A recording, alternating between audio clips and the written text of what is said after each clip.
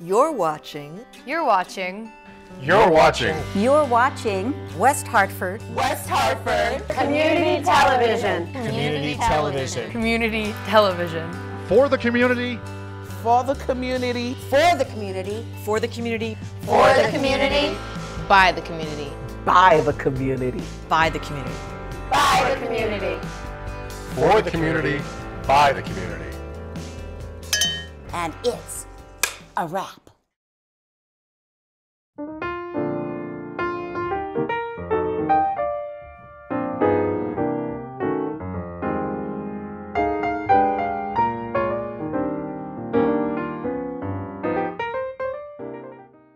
Well, today I'm speaking to Tamila Azadaliyeva from Uzbekistan and also Cantor Joseph Ness from Beth El Temple. And we're talking about the final concert for the Beth El Music Series of 2016, 2017. of 2017. 2016 2017. Thank you so much for reminding me.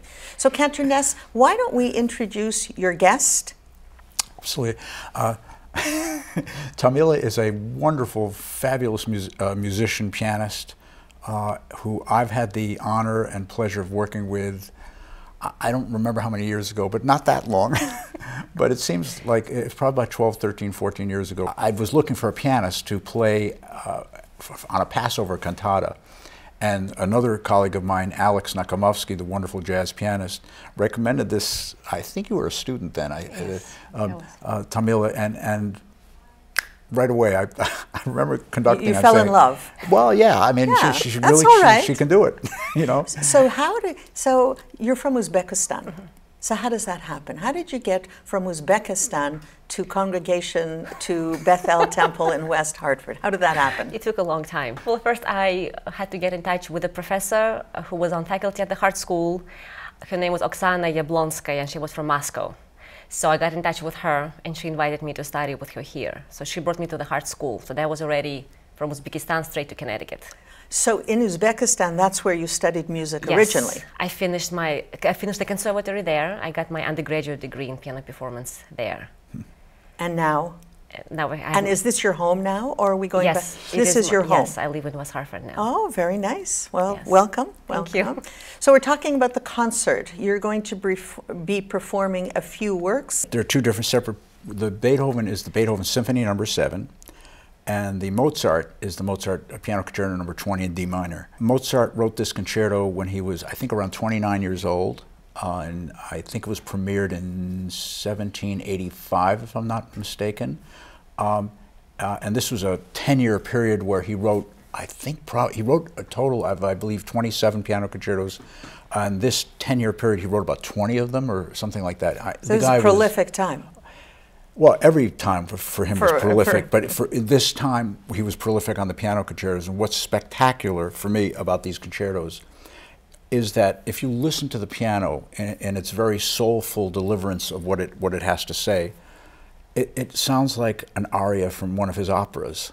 I mean, there's such a connection. It's just beautiful. It is beautiful. Oh, it's, So it's the other part of this concert is that you have music from Cantor Labela Glantz. Right. And you also have uh, Cantor Lauren Phillips, um, a soprano, performing from Congregation Beth Israel. Right. How do all these things fit together? Well, you know, uh, m- many concerts that, that organizations do have a label on them, you know, and, and I, I think the label I'd like to put on this one is for the love of music, you know. Um, Are these well known? Uh, uh, the Beethoven music and the Mozart music, is it well known? I would say those two pieces, in, in variable degrees, are, are pinnacles in Western um, um, um, orchestral music. And people know that. Oh, yeah. I mean, the, right. I mean, the, the Beethoven Seventh, uh, if I can give just a little history on it, was uh, premiered when Beethoven. He wrote it when he was around 41 years old. He was already pretty deaf at the time, and uh, he conducted the premiere with. With a, lot of composers playing in the orchestra. As a matter of fact, there was one famous guitarist who played cello in the orchestra. It was a mishmash. Uh, do you know if you've listened to the movie Amadeus? The, mo- the Yes. uh, there was a composer by the name of Salieri, uh, who was supposedly, and I think incorrectly, Mozart's nemesis or something.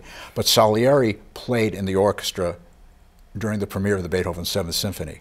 So this is music that that is well known Oh, by music aficionados. Th- This is for me. It's more than music. It's it's you know when I hear that opening chord of the Beethoven Seventh, that that opening A major chord and the the oboe on top, starting the ba da dee da. I'm I'm transfixed. You're in he- It's you're in more heaven. than- it's- I, I, there must be something a, a word higher than music to describe that that piece. It's it's like a mountain. Now, what about Tamila? So you are going to be the pianist in all these um, For the Mozart concerto. in the Mozart Concerto. concerto. And what about the music of uh, Cantor Labela Glantz? Glantz. What's Yeah. that all about? Well, he, he was born, I believe, like 1898, 99, something in that area, and passed away in 1964. And there was a period in, in synagogal music where it was called the golden age of cantors. And that's when a lot of these cantors in the in their first 20 years of the 20th century, 30 years, were uh, escaped Europe for, for the obvious reasons because of anti-Semitism, whatever, and they came here. He was one of those people who who came here during that time.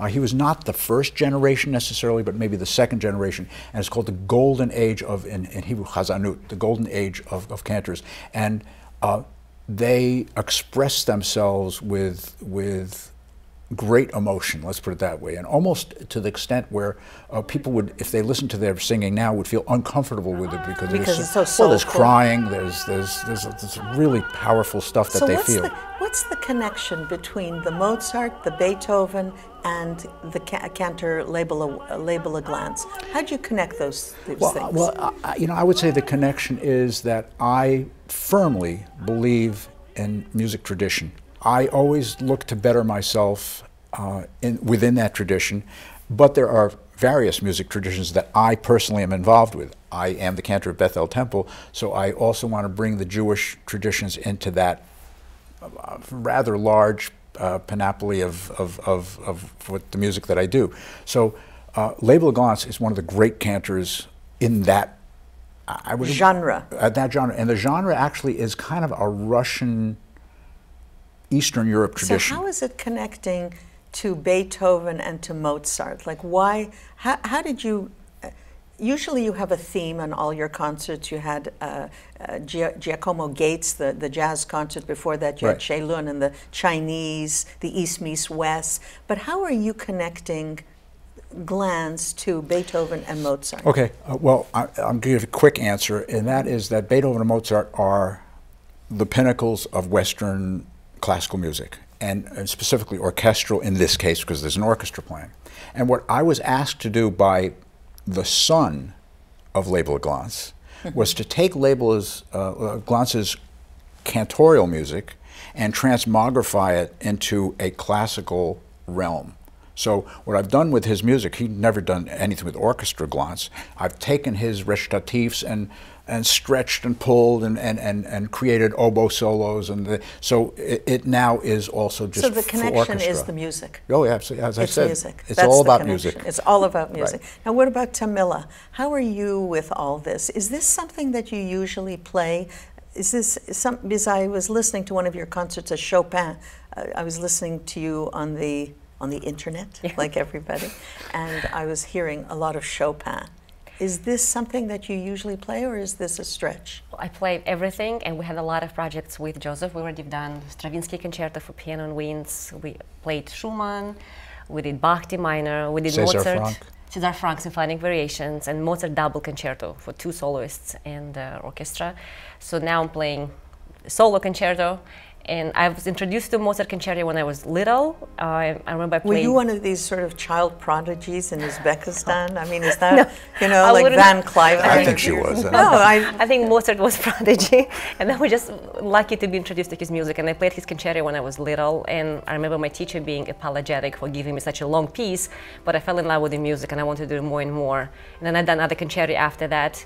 Um, and D minor concerto is one of the most beautiful and most famous uh, Mozart Right. piano concerto, and the music is just divine. If we talk about something higher than music, So let me ask you, you're from Uzbekistan. Yes. And there's an interest in that. Playing music in Uzbekistan versus playing music in America. Is there um, a change? Is there some, can you feel a difference? Because you're the you still have to um, play. Yes, I still But is there a, a different feeling? Is So I think the music world is very small and it's a very special place. And no matter where you are, you still feel like you're in the music world. What about the audiences? Are the is the Beth El audience different?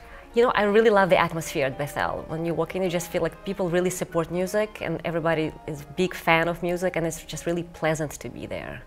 And Joseph always puts amazing programs.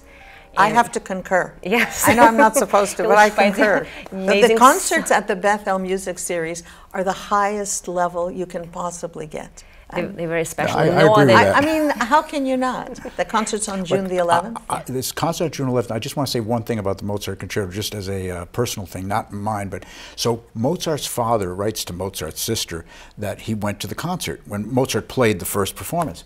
And he said, but we didn't get through the rondo because the parts weren't copied yet. so, you know, Mozart was just. And, and then, you know, that's how life was during those times. You know, even, matter of fact, there's, I, I forget which opera, it may have been uh, Marriage of Figaro, where he was writing the, the overture the day of the first performance. Well, there's a huge interest, been, not uh, just in the music, but in the characters that made the music. Oh, absolutely. There's just a huge, huge interest, and that's why I was interested in you because you're the pianist, and the I wanted to know if the Uzbekistan gives you a different perspective on the music. Do you feel something differently? Well, maybe different training. Uh, we ha- I studied at a specialized music school where, from the beginning, you geared towards becoming a professional musician. How old were you when you started? I was in second grade, Oh. so not that young. Well, it's considered young, but Mozart started at Mozart at what age? Uh, I think Well, he when was he was already born. composing when he was right, five, right, probably. right. Yes. I mean, it's it's young. Yeah, Yes. Yeah, at, absolutely. at, on any world standard. no question. Yes. So, um, and at that time it was still Soviet Union, so it was Russian training, and we had a lot of teachers who immigrated during the World War II from Moscow, St. Petersburg. So it was the different crowd. Actually, it was different atmosphere back then when I grew up there. Well, I mean, it sounds it sounds it sounds fa- it's, it sounds great. It sounds great. We're looking forward to seeing you. We're looking forward to seeing you also, Cantor Ness. You're going to be conducting the orchestra. I, I will be. Uh, Okay, that's a good I, I, I look at this concert as a uh, you know a, um, a wonderful welcome to the summer season. Wonderful welcome to the summer season. Well put. That's June the 11th, Beth El Temple, seven o'clock. Absolutely. And I just Absolutely, seven o'clock. Be there.